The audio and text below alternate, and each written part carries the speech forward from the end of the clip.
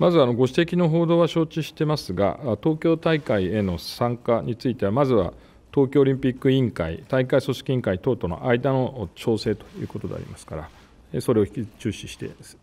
まいりたいと考えております。またあの、政府としては、東京大会